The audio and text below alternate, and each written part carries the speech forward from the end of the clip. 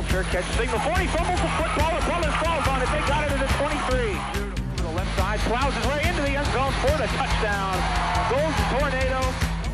Harvey gets the snap, looking, looking. Now he is going to push punt it. This will bounce, and it goes over the head of uh, Blakely trying to take it. And now, he touched the football. What was he doing? And McMillan, a couple play fakes, running to the right side. That might be a safety. Do this much over the middle. He's got open. Jacob Thompson catches it. 33 breaks the tackle across the 30 to the 28-yard line.